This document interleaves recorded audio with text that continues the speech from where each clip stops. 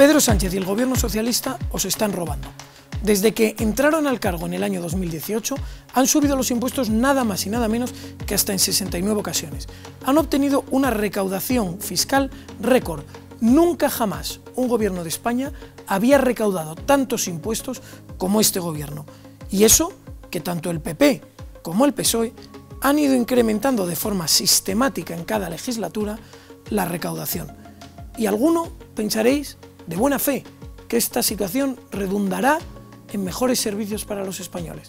Lo cierto es que no.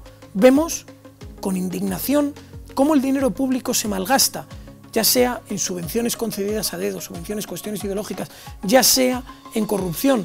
Y aún así, con esta recaudación récord, las listas de espera en la sanidad pública nunca habían sido tan largas y nuestros sanitarios nunca habían tenido contratos tan precarios. El acceso a la vivienda social nunca había sido tan difícil para quienes realmente lo necesitan. La inseguridad en los barrios nunca había sido sufrida en sus carnes por tantísimos españoles como la padecen hoy en día. Incluso pensemos en la educación, el ascensor social. Nunca había estado en unos niveles tan bajos. Los españoles salen hoy del sistema educativo español más indefensos que nunca para enfrentarse al mercado laboral. Y mientras tanto, el gobierno exprime a los contribuyentes, exprime a los españoles como si de naranjas se tratasen.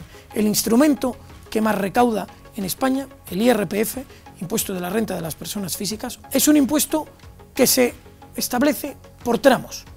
El primer tramo, de 0 a 12.000 euros de 12.000 a 20.000, de 20.000 a 35, 35 a 60, 60 a 300 y en adelante. Para cada uno de estos tramos, como si fuesen peldaños, debemos tributar a un tipo impositivo diferente. En el tipo estatal, que es de lo que estamos hablando, se tributará un 9,5% para el primer tramo, un 12 para el segundo, 15, 18,5, 22,5 y 24,5. Y esta es la cuota estatal.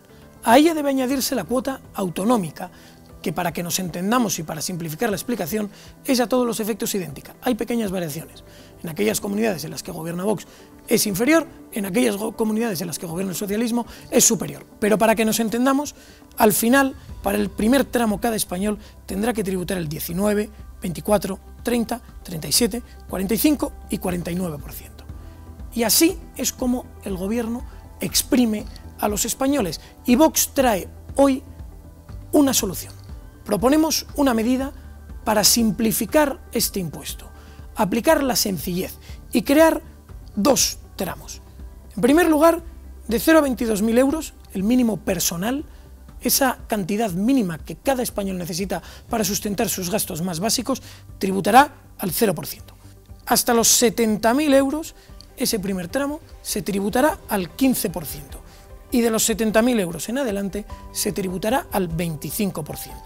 Y por cada hijo que tenga cada español verá minorado el tipo aplicable en un 4%. De tal forma que cada español que tenga, pensemos, un hijo, en el primer tramo tributará un 11% y en el segundo tramo tributará un 21%, con esta minoración, como decimos, del 4% en cada tramo y por cada hijo. Y así, con esta propuesta de Vox, se obtendrá un alivio fiscal para los españoles, que verán cómo su cuota de IRPF se ve reducida. En la propuesta de Vox, hasta los 22.000 euros no se tributará y a partir de ahí la tributación será muy inferior a la que actualmente propone el Gobierno. De tal forma que, con una menor recaudación por IRPF, los españoles mantendrán una mayor parte de sus ganancias en sus bolsillos. Y para esto, en ningún caso será necesario reducir, como decimos, los servicios públicos, puesto que en España se gastan cada año en subvenciones, muchas de ellas ideológicas, a ONGs, algunas extranjeras, internacionales, unos 30.000 millones de euros. Se gasta en redundancias en la administración por deficiencias en los servicios hasta unos 60.000 millones de euros. Y las transferencias a las comunidades autónomas, unos 66.000 millones de euros, de los cuales solo un 50% se dedican a cuestiones y servicios esenciales. Es decir, aproximadamente 33.000 millones de euros se podrían empezar a reducir. Y así obtendríamos el ahorro que necesitaríamos con esta rebaja fiscal que proponemos, que supondrá un menor ingreso, una menor recaudación de entre 12 y 18 mil millones de euros. En definitiva, Vox propone una medida de sencillez, de simplificación, que impacte sobre todo en las rentas menores de 22.000 euros que pagarán cero impuestos por IRPF y en aquellos españoles que tengan hijos a su cargo. Aplicando este sistema más sencillo, permitiría que el dinero de los españoles se quedase en sus bolsillos y no en los bolsillos de los políticos.